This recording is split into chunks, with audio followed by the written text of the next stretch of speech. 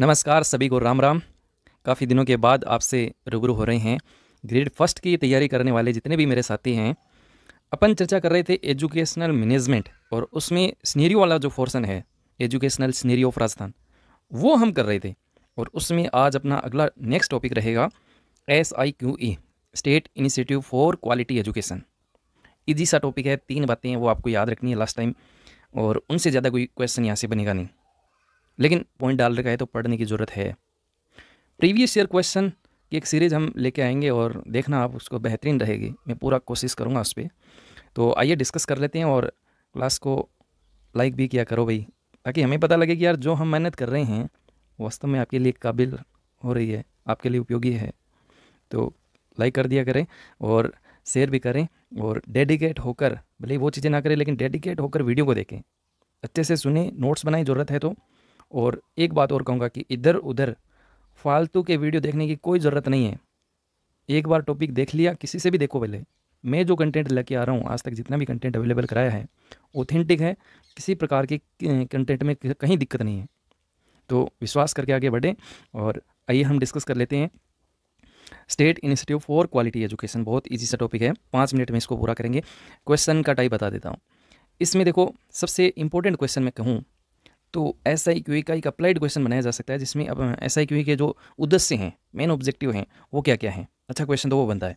इसके अलावा पूछने को वो एस आई क्यू जो है, उसको संचालन करने वाली संस्थाएँ जो हैं कि ये देख रेख का कार्य कौन करता है टेक्निकल कार्य कौन देखता है कौन कौन सी एजेंसियाँ हैं कौन कौन सी चीज़ें हैं जो इनकी देख रेख वगैरह करती हैं, वो प्रश्न बन सकता है। कौन सी कक्षा के लिए बना है, ये सबसे महत्वपूर्ण क्वेश्चन है। कक्षा एक से आठ की बात करता है या कक्षा एक से पाँच तक की बात करता है।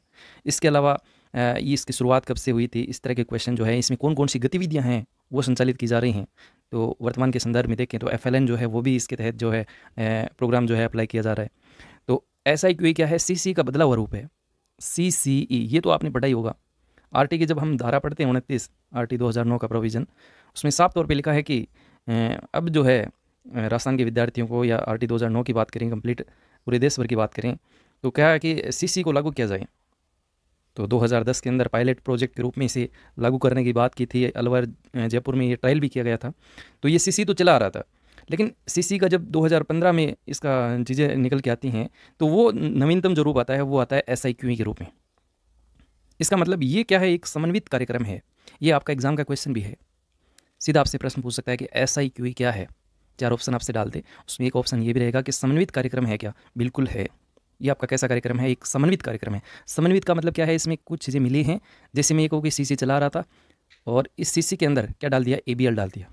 A B L A B L का मतलब क्या है? Activity based learning activity based learning आगे हम चर्चा करेंगे इसके बारे में। इसके अलावा इसमें डाल दिया आपका सी सी और पी चाइल्ड सेंटर्ड पेडागोजी बच्चे को ध्यान में रख के जो है वो शिक्षण करवाया जाए। बच्चे की नीड क्या है, वो ध्यान में होनी चाहिए।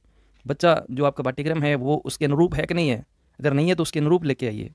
और अब तो आपका एफ़ एल एन भी नई शिक्षा नीति जो है F L N F L N F F L N foundational जो लिटरेसी एंड न्यूमरेसी है कि बच्चे की जो बुनियादी नींव है, साक्षरता ज्ञान है, वो संख्या ज्ञान है, वो बच्चे को करवाया जाए कक्षा एक से दो तक। वो कंप्लीट हो जाना चाहिए। लेकिन वर्तमान में तो कक्षा एक से पाँच तक ये किया जा रहा है। इन सबको मिला के क्या बना दिया है? S I Q E S I Q E ये है आपका एस आई क्यू ई जो 2015-16 से अभी तक जो है कार्यरत है। कौन सी कक्षा के लिए? कक्षा एक से पाँच। कक्षा एक से पाँच। ये आपका निचोड़ ही मैंने बता दिया पूरी क्लास का। निचोड़ बता दिया। ये है आपका एस आई क्यू ई कहीं जाने की ज़रूरत नहीं है। सी सी, इस पर विशेष चर्चा करने की ज़रूरत नहीं है। बचपन से पढ़ते आ रहे हैं। सतत और समग्र मूल्यांकन। सतत का मतलब लगातार और समग्र का मतलब उसमें दो चीज़ें आती हैं, एक वो शैक्षणिक है और एक सह शैक्षणिक। ये चीज़ें हम पेडागोजी में पढ़ाते भी हैं। ये मेन फोकस है। इन पे विशेष ध्यान रखना है A B L C C P और एफ़ एल एन इनकी चर्चा हम करेंगे। क्वेश्चन आ सकता है कि एस आई क्यू जो है उसमें कौन कौन सी गतिविधियाँ जो है वो करवाई जाती हैं? तो एक्टिविटी बेस्ड लर्निंग बच्चे को एक्टिविटी की जाए। एक्टिविटी के थ्रू बच्चे को सिखाया जाए ताकि उसका जो शैक्षणिक स्तर है वो कुछ हद तक जो है सुधर के आए। और इसी वजह से आपने देखे होंगे, ने, अब स्कूलों के अंदर जो है, वो पेंटिंग बनाते हैं, ताकि बच्चा देखे और उस तरह से चीज़ें करे। कोई वर्णमाला है, कोई गणित के जोड़ भाग है तो वो इस तरह की चीज़ें जो हैं, सीढ़ियाँ लगा के, वो डायग्राम बना के, एक प्रकार से डिज़ाइन एक्टिविटी देने की कोशिश करती हैं। तो ये है आपका activity based learning C C P child centred pedagogy ये जो आप स्लाइड देख रहे हैं, ये आपका माध्यमिक शिक्षा निदेशालय जो है, जिसके द्वारा ये एस आई का संदर्भ हमें देखने को मिला था। ये 2015 का जो है नोटिफिकेशन है और इस नोटिफिकेशन से हमें पता लगता है कि देखिए state initiative for quality education एक तो देखिए साफ़ तौर पे ये जो फुल फॉर्म है, वो डाल रखी है। State initiative for quality education मुझे लगता है आपको यहाँ गौर करने की ज़रूरत है। छोटे छोटे क्वेश्चन जो हैं, कई बार मरवा देते हैं, है ना? यहाँ उलझ जाते हैं ऑफ़ लिखा होता है, कुछ और लिखा होता है, ये ध्यान से पढ़ना है। State initiative for quality education इसका पूरा नाम एग्ज़ाम में पूछा जा सकता है। ये क्या दिशा निर्देश थे? क्या इनमें इंपॉर्टेंट बातें थी? मोटा मोटी देखें। तो राज्य में संचालित समन्वित राजकीय उच्च माध्यमिक और माध्यमिक विद्यालय कक्षा एक से दस और एक से बारह तक। कक्षा एक से पाँच में ही, ये इंपॉर्टेंट है। कक्षा एक से पाँच में मैं हाईलाइट करूँगा इसको। आप लिखना चाहिए तो लिख लीजिएगा, ये मोस्ट इंपॉर्टेंट है। कक्षा एक से पाँच में विद्यार्थियों के शैक्षणिक स्तर यूनियन के उद्देश्य से, किसके उद्देश्य से? शैक्षणिक स्तर यूनियन के उद्देश्य से, यानी शिक्षा में सुधार की बात करेगा।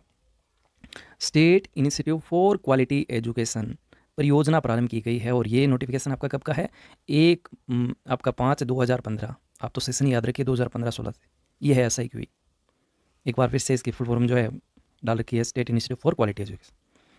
ये एक applied question A double P L I D applied question बना सकते हैं। अब, ये तो मोटे मोटे चौदस हैं, जो बोर्ड के, जो ऑथेंटिक हैं, वो मैंने लिए हैं। इसके अलावा जो पॉजिटिव आंसर बने क्योंकि इसमें एस आई क्यू में क्या है? सी सी भी तो है ना? और सी सी का मेन उद्देश्य क्या था? बच्चों का जो भय है, वो दूर करना। बच्चे में मौलिकता, सृजनात्मकता, इस तरह की चीज़ें जो है लेके आना तो वो पॉजिटिव बातें हैं। तो वो ऑप्शन में हो तो वो बेटर आंसर बनेगा, लेकिन मेन मेन जो उद्देश्य हैं, उनकी तरफ़ हम देखें। तो इसमें देखिए, सबसे पहला उद्देश्य, सबसे इंपॉर्टेंट है, राज्य के समन्वित राजकीय उच्च माध्यमिक और माध्यमिक विद्यालय कक्षा एक से बारह में सीधा शॉर्ट में बोलूँगा। अधीनरत कक्षा एक से पाँच तक, कौन सी कक्षा? कक्षा एक से पाँच तक विद्यार्थियों के अधिगम स्तर में गुणात्मक वृद्धि को सुनिश्चित करना। ये आपके जो ऑप्शन है, उसमें मिल सकता है डायरेक्ट आपको। एज इट ध्यान रखिएगा। इसके अलावा देखिए, सबसे ज़्यादा तो ज़ोर इसी भी देता है बाल केंद्रित शिक्षा, जिसको हम कहेंगे चाइल्ड सेंटर्ड पेडागोजी छोटा क्वेश्चन ना है तो इसका फुल फॉर्म भी आपसे पूछ सकता है। कुछ नहीं, कुछ भी पूछ सकता है। बाल केंद्रीय शिक्षा और ये आपका सतत और व्यापक मूल्यांकन सी इसके समन्वित क्रियान्वयन द्वारा मतलब इनको मिला करके प्रत्येक विद्यार्थी के जो अधिगम स्तर है, उसकी उपलब्धि है, उसको सुनिश्चित करना। इसमें सी के तहत जो है पाठ्यक्रम को बांटा गया है तीन टर्म के अंदर। लास्ट में बच्चे को ग्रेड दिए जाते हैं ए बी सी वो हम आगे चर्चा करेंगे, लेकिन अधिगम स्तर और उसकी उपलब्धि को सुनिश्चित करना, ये किसका उद्देश्य था मेन ऑब्जेक्टिव इसका था। इसके बाद देखिए तीसरा है प्राथमिक कक्षाओं के विद्यार्थियों की ट्रांजेक्शन रेट में उच्चतर स्तर तक सुधार लाना। ये ध्यान रखिएगा ट्रांजेक्शन रेट में उच्चतम स्तर तक सुधार लाना। चौथा देखिए, विद्यालय में कक्षा एक से पाँच में जो नामांकन है सभी विद्यार्थियों का, उनकी आयु कक्षा के अनुरूप शैक्षिक स्तर सुनिश्चित करना, यानी जो बच्चे पढ़ रहे हैं, उनकी एज क्या है, उस हिसाब से जो है, अपन अपन भी पढ़ाएँ और पाठ्य वो अपना जो पाठ्यक्रम है वो भी उसी रूप में हो। तो ये है आपका मोटा मोटी चौथा उद्देश्य, पाँचवा उद्देश्य देखिए। विद्यालयों में बाल केंद्रित शिक्षण, मैंने कहा था ना सी सी पी ये बात करता है C C P child centred pedagogy बाल केंद्रित शिक्षण विद्या के क्रियान्वयन के लिए सभी शिक्षकों का क्षमता वर्धन करना। बच्चे को ध्यान में रख के जो है हमें आगे बढ़ना है। इसके अलावा कुछ और देखें तो देखिए विद्यालय प्राचार्य जो प्रभारी हैं, प्रारंभिक शिक्षकों का एकेडमिक सहयोग है कर्ता के रूप में तैयार करना। जिला शैक्षिक योजना के निर्माण संचालन समीक्षा हेतु जिला स्तर पर एकेडमिक जो समूह बने उनको तैयार करना, क्षमता वर्धन करना। मतलब उद्देश्य जो है एस आई क्यू के, उसमें आपका पॉजिटिव आंसर बनेगा, गलत की तरफ़ हमें नहीं जाना है। मेन फोकस रखना है C C P A B L C C E इन पे फोकस रखना है। ये आपका इंपॉर्टेंट है। आज तक क्वेश्चन यहाँ से नहीं बना है। परियोजना का जो क्रियान्वयन है वो किसके द्वारा किया जा रहा है? लेकिन एक स्टैंडर्ड क्वेश्चन बन सकता है। चार चीज़ें हैं याद रखना। है एक तो देखिए, ये हमने जो अभी लेटर देखा था निर्णय आपका जो ऊपर बताया था मैंने, एक तो ये देखिए, परियोजना का जो संचालन है वो कौन करता है? निदेशालय करता है, माध्यमिक शिक्षा राजस्थान बीकानेर। ये तो आप सब लोग जानते हैं बताने की ज़रूरत नहीं हम, जब ये चीज़ें पढ़ रहे हैं तो इसके अंडर में है। इसके अलावा जो आपकी आर सी एस सी है, यानी राजस्थान माध्यमिक शिक्षा परिषद जयपुर, इसके द्वारा जो है इस कार्यक्रम की जो रूपरेखा है वो तैयार की जाती है। सीधा आपसे ऐसे पूछ सकते हैं कि जो एस आई क्यू ई है, इसमें जो प्रेस आपका प्रशिक्षण है, कार्यक्रम की रूपरेखा है, वो किस के द्वारा दी जाती है? तो आर सी एस सी के द्वारा। राजस्थान माध्यमिक शिक्षा परिषद जयपुर के द्वारा। ये आपकी ऑथेंटिक है। ये पीडीएफ जो है, मैंने ऑथेंटिक ली है। ऐसा नहीं कि मैंने खुद टाइप किया ना। इसके अलावा देखें दो चीज़ें हमने पढ़ी हैं। अब तक क्रियान्वयन के लिए आपका निदेशालय बीकानेर और एक आपका ये जो प्रशिक्षण और कार्यक्रम की रूपरेखा जो है, वो आरसीएससी के द्वारा। और एक जो अकेडमिक कार्य है वो एस आई आर टी पहले नाम हुआ करता था, वर्तमान में R S C R T इसके द्वारा जो है, वो आपका इसका एकेडमिक कार्य देखा जाता है। परियोजना का संचालन जो है यूनिसेफ और बोध शिक्षा। ये आपका तकनीकी, जो टेक्निकल चीज़ें हैं, उनमें समर्थन करता है कौन? यूनिसेफ और बोध शिक्षा। चार चीज़ें हैं बीकानेर निदेशालय हो गया आर सी एस सी हो गया R S C R T हो गया, और इसके अलावा तकनीकी सहायता के लिए आपका यूनिसेफ और बोध शिक्षा। और इसके अलावा भी प्रत्येक ज़िले के अंदर जो है, वो इस तरह की कुछ संस्थाएँ बनी हैं, जो यहाँ पे प्रशिक्षण देने का काम करती हैं कुछ। सहयोग देने का काम करती है, समर्थन सलाहकार के रूप में काम करती हैं। जिला स्तरीय संस्थानों को सहयोग देने के लिए यूनिसेफ बहुत शिक्षा समिति द्वारा, जयपुर द्वारा संयुक्त रूप से प्रत्येक ज़िले के अंदर जिला समर्थन अध्यता, जिसको हम डी एस एफ़ यानी डिस्ट्रिक्ट स्पोर्ट फेलो उपलब्ध कराया जाएगा और इसके कार्यक्रम के नियोजन, कार्यक्रम की मॉनिटरिंग के मुख्य सलाहकार के रूप में समर्थन प्रदान करेगा।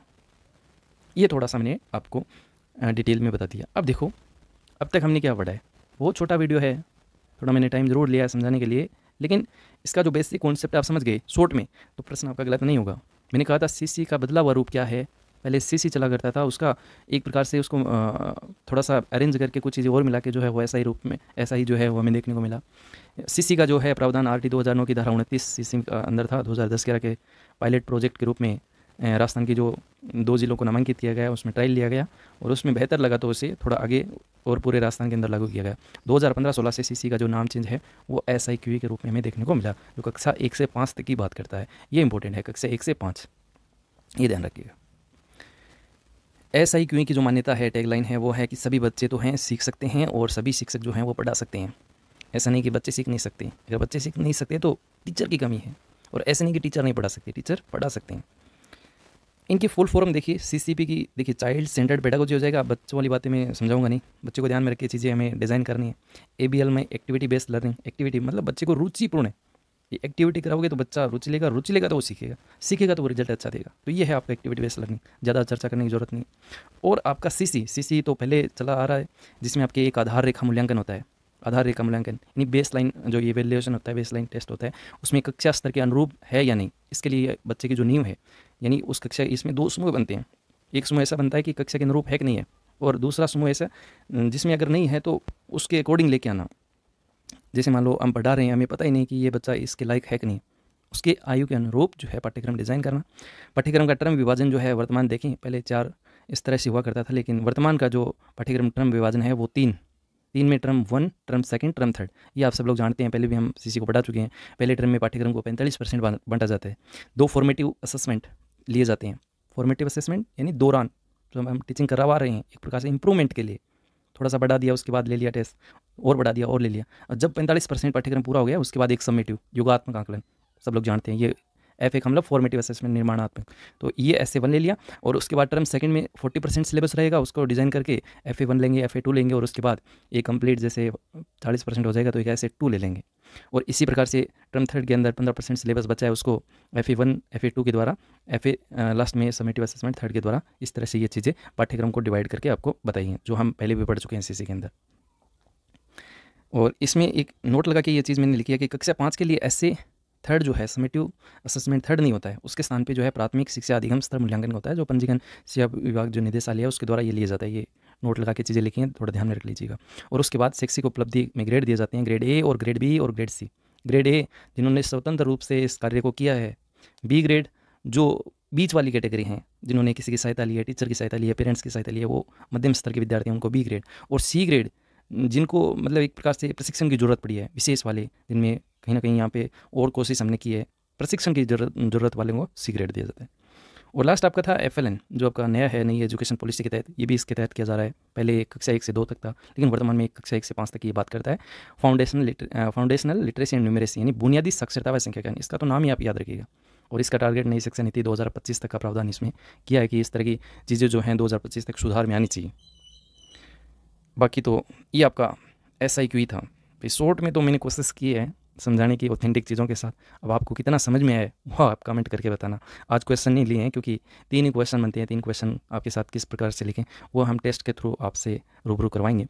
आज की इस कक्षा में इतना ही प्लेलिस्ट बनी है अच्छे से, और इसको भी मैं प्लेलिस्ट में डाल दूँगा। सीक्वेंस से सारी क्लासों को देखें नोट्स बनाए, और कहीं दिक्कत है तो कमेंट करें, मैं कोशिश करूँगा आपके रिप्लाई देने की। आज की चर्चा में इतना ही।